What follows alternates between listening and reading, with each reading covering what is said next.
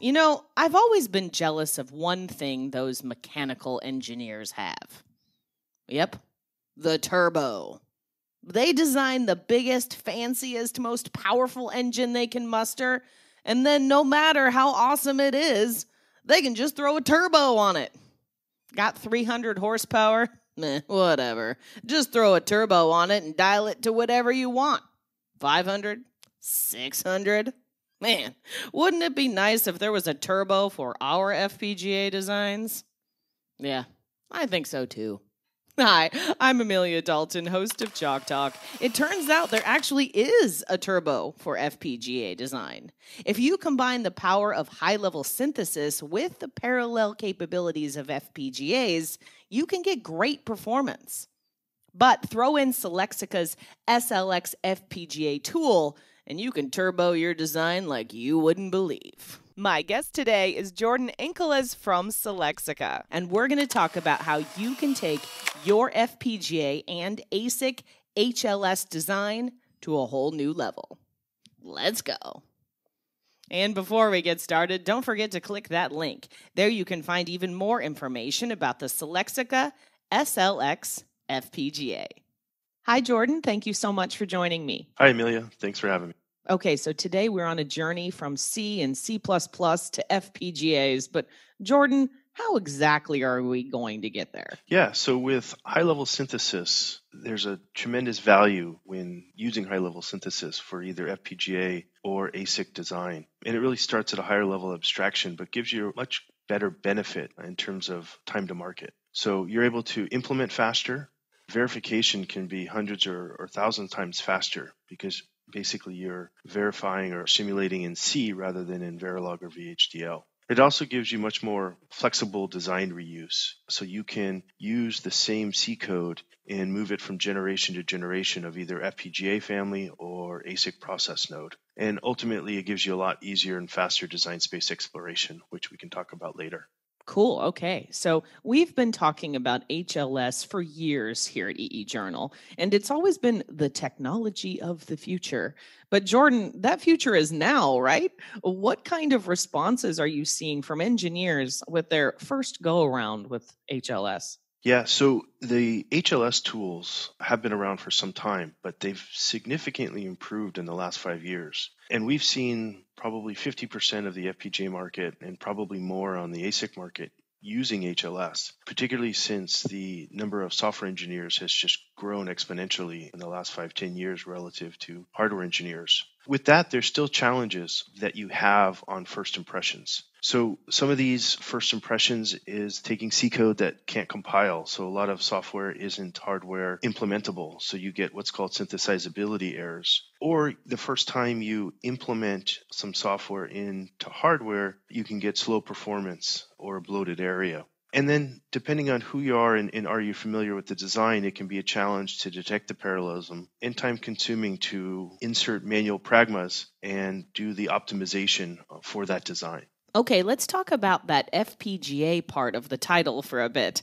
Tell me more about the Silexica SLX FPGA tool and what exactly does it buy me as an engineer? Yeah, so SLX FPGA from Silexica is a tool that actually sits on top of an HLS compiler. So it doesn't replace an HLS compiler. What it really does is get your C, C++ code ready to go through a compiler, an HLS compiler, so that you get much better results. So a lot of those roadblocks that I just mentioned, it really removes those. So if you have non-synthesizable code, our tool will detect it and provide you suggestions on how to fix it.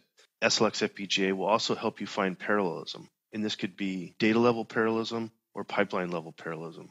And it really ultimately gets your C, C++ code ready. So when you go through the tool, you get much better performance. And with SLX FPGA, we're really targeting both the hardware engineer and the software engineer. So the hardware engineer, SLX FPGA, really provides the software guidance needed to be successful in implementing C, code through HLS. So for example, many hardware engineers don't know the software. They didn't specifically write the software. A lot of times some algorithmic designer will write the software and then throw it over the fence and say, please implement this in either an FPGA or an ASIC. So for hardware engineers who aren't familiar with the code and the algorithm, the SLX FPGA really provides a lot of the guidance as well as the overview of what the software is doing. From a software engineer perspective, software engineers traditionally write software in a serial fashion. So they're not as familiar with parallelism and the underlying hardware infrastructure or hardware components that make up an FPGA or an ASIC. So SLX FPGA will help software engineers find the parallelism and provide the guidance within the hardware after you select which hardware or FPGA family device that you're using. Okay, Jordon, can you walk me through the SLX design flow here? How exactly does this work? Yeah, so first you start with your CC++ code and then you run it through our SLX FPGA flow we will take the software with a test bench and we'll actually run the software. And that really provides an insight that's unparalleled in terms of understanding what the software is doing. And we do that by implementing what's called dynamic analysis. So we actually instrument the code at the compiler level and that allows us to see everything that's going on. A lot of what goes on in the C++ arena is only executed at runtime, so really understanding what the software is going to do. You can have variable loop counts, for example, that won't be executed until you actually run the software with a test bench. So once we have this deep insight and we've instrumented the code, we've run it, we've basically taken a recording of everything that's going on, every memory access, every variable access, we then have a really deep understanding of the software. From there, we can look at all the synthesizability issues that you may have, and then we'll recommend what to fix or what to improve. And then we'll also detect all the parallelism. And then from there, you can decide which parallelism you're interested in. And then we'll do some hardware optimization. From there, we'll find the optimum pragmas to insert, as well as the attributes for those pragmas. So, how many times to unroll a particular loop. If you're happy with the results, then you can go straight through and continue on with the HLS compiler flow. Some of our more advanced users like to use our analysis tools and really get a deep understanding of what the software is doing in terms of memory access and hotspots and variables. And they'll make some changes themselves to the pragmas. And that's all enabled for the advanced user using our extended advanced analysis tools that are available. Okay, Jordon, let's talk about synthesizing. Now, I know that not all C and C code is compatible with HLS if that is the case with my design, can you guys help me out here? Yeah, absolutely. So, not all C code can be implemented in hardware. There are constructs that just simply don't exist. And there are other constructs that need to be really ironed out before going into hardware. A simple example is the malloc. So, we can't do dynamic memory allocation in hardware, everything's wired up. The other is unbounded arrays. We just don't have an unlimited set of memory so a lot of those things need to be resolved. And SLX FPGA really helps users refactor that code. Some of it we can do automatically, and others we do a guided flow to help the user understand what needs to be rewritten. I can show you some examples. Great. So I'm interested in that code refactoring you mentioned earlier. Can you walk me through what that looks like? Yeah. So in this example, we have a random function in the software. But a random function doesn't exist in hardware. It needs to be built out of lookup tables and memory. So what we're able to do is to have a pre-parameterizable block that we can replace the random function and what we call it is the SLX FPGA random, and that will replace that block. Now, in this case, we support Xilinx's flow, and Xilinx does have some of these pre-enabled libraries, but not all. And what SLX FPGA does is able to supplement the features that the Xilinx tool doesn't have. So I just showed you an example of the automatic refactoring that we can do, but a lot of the benefit comes from the guided code refactoring. So in this example, we have found an access to a pointer which is not synthesizable, and this is using the malloc function. So what we show you is instead of using the malloc function, we will guide you and show you what that can look like. So here is an example of a pointer pointing to the addresses of an array. And this is something that can be implemented in hardware. So whenever there's challenges with synthesizability, which is usually the first hurdle in trying to get C code through in HLS, we can identify those hurdles and provide you either automatic or guided refactoring in order to make your code synthesizable.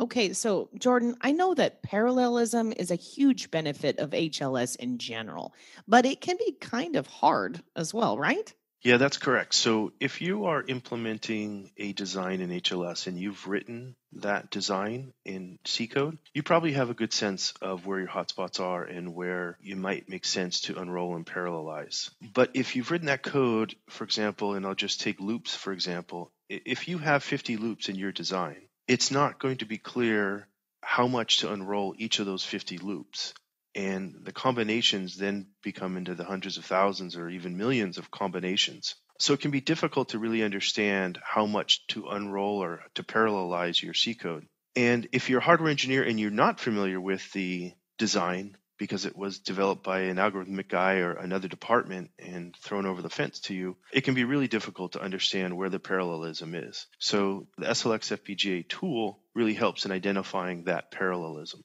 For a software engineer, it could be difficult in general understanding the underlying hardware architecture that makes the most sense in terms of unrolling. So we really help the software engineer understand what parallelism is and the benefit that they can get from it by showing them the performance and area trade off. So, Jordon, how does your SLX FPGA identify parallelism? And can you show me what that would look like? Yeah, so I mentioned earlier, we take the C or C++ code from a customer and we'll run dynamic analysis on it with a test bench. And that allows us to have a really deep insight of the software that's going on. So for example, in this case, we found a loop with a variable trip count called samples. But by running it through with the test bench, we're able to understand how parallelizable this loop was. So what we will do is we'll highlight the different code and we'll provide you a description or parallelization hints that exist in the GUI. So for example, we say that this loop can use a thousand workers. So that means this loop can be rolled a thousand times. Now, that doesn't mean you should unroll it a thousand times. It just gives you a sense of what can be done. And once we get into the optimization phase based upon constraints that you've given SLX FPGA, we can find the optimum solution for you in terms of unrolling. So here's a deeper example of parallels of detection. In this case, we've looked at some code and we have identified DLP, which is data level parallelism, PLP, which is pipeline level parallelism, and then again another data level parallelism. And what you see here is in the status column, there is either a red X or a green check mark. This tells you whether the parallelism that it's found is actually implementable. So you can check out the PLP and the DLP below that and see what kind of recommendations it exist for implementing that parallelism. In addition, you can see that there's a red X highlighted here, and we can see that the parallelism is actually blocked here. And that's because there's a loop carry dependency and it shows you specifically which variables are blocking that parallelism. So this provides an opportunity for you to possibly refactor your code to get more parallelism out of the software in order to get better performance or better performance per area trade off in your design. Okay, Jordon, let's dig into some of that hardware optimization you mentioned. So I've heard of the Vivado HLS flow, but I'm not exactly sure how it works. Yeah, so Vivado HLS is quite powerful. It takes in the C code and will convert it to Verilog and VHDL. However, most C code is serial. In order to take advantage of the parallel nature of an FPGA, you have to take your C code and essentially make it parallel. The way you do that is you add pragmas, which are simple directives that are added to the C code that tell the HLS compiler how much you want to unroll each of those loops or how much you want to pipeline and so forth. However, again, as I mentioned, if you have 50 loops in your design, and that's a simple case, understanding which pragmas to add, where to put them, and how much to unroll or the different attributes of each of those pragmas can be quite a daunting task. So with SLX FPGA, we offer an alternative solution. Cool. So, Jordon, can I add your SLX FPGA flow into my existing Vivado workflow?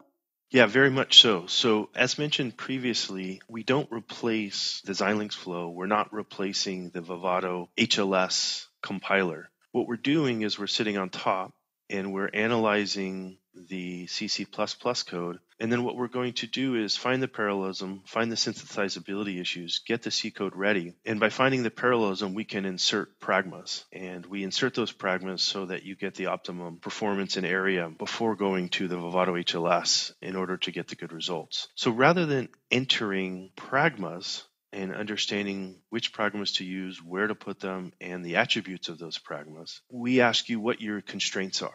So, how much of the FPGA do you want to use? Are you optimizing for latency or throughput? So, by understanding what your constraints are, we can then go through in a huge solution set based upon our dynamic analysis and really provide the optimum set of pragmas so that you have a much better result when going through the HLS compiler. Now, Jordon, how would I deal with constraints with the SLX FPGA workflow? Yeah, so from a constraint perspective, which is a key input into the SLX FPGA tool, along with your C, C++ code and the test bench, there's two key areas. One is the bandwidth of the data coming in, that's typically handled with the interface bandwidth constraints that we ask for. And then second is the resource constraints. So the resource constraints can be lookup tables, flip-flops, block RAMs, or DSP slices. And you can configure each of those separately. And by doing that, that's what gives us the guidance on how much you want to parallelize in order to maximize your performance per area. Okay, cool. So providing constraints rather than trying to figure out pragmas and pragma attributes myself looks like I could really save time doing that design space exploration.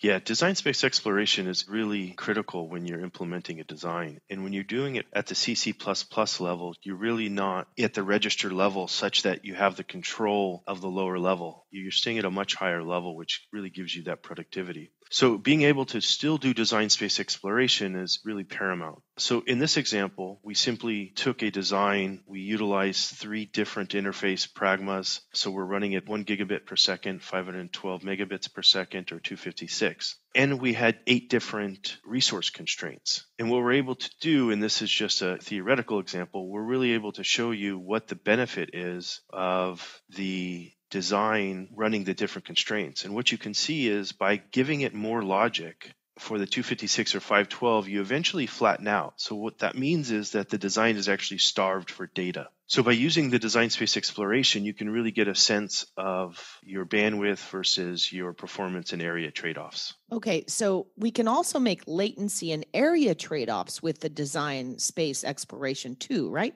That's exactly right. So here's an example of a Kalman filter. And what we've done with this Kalman filter is that we've given SLX FPGA different constraints.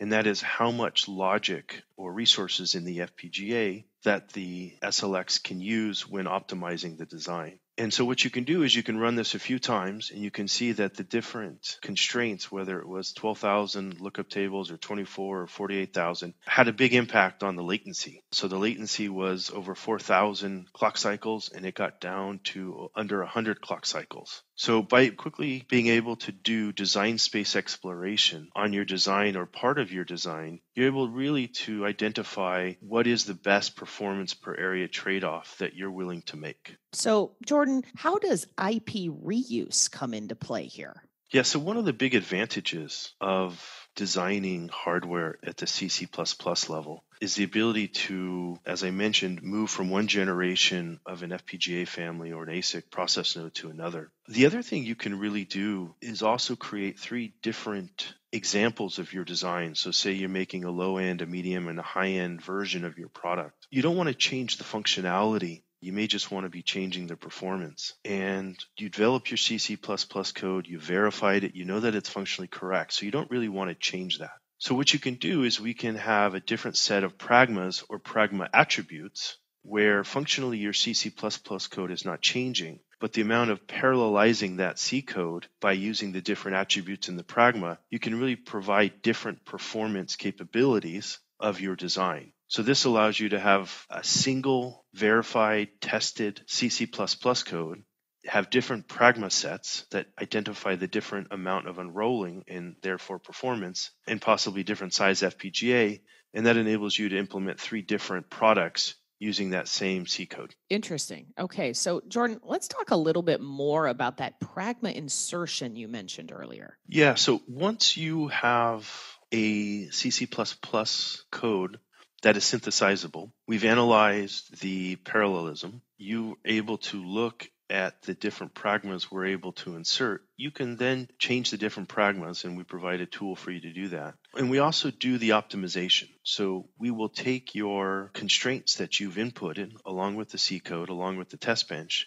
and we'll come up with the optimal set of pragmas and pragma attributes for you. And then we'll automatically insert that into your code. We keep a copy of your original code, but we also annotate the original code by inserting the pragmas. Now, again, when inserting the pragmas or these directives, we're not changing the functionality of your C code. Oh, okay. So, what if I want to disable a group of pragmas or enable them all at one time? Yeah, so SLX FPGA offers the SLX Code Transformation Wizard. And what this does is provides a list of all the pragmas that we recommend and the groups of pragmas that we recommend. And we show that the original code and the updated code side by side so that you're able to pick and choose based upon the value that you think that the pragmas will bring into the code. So that shows you how the pragma looks using the transformation wizard. We also show you how the pragma looks in the C code. So we will show you the C code in its entirety,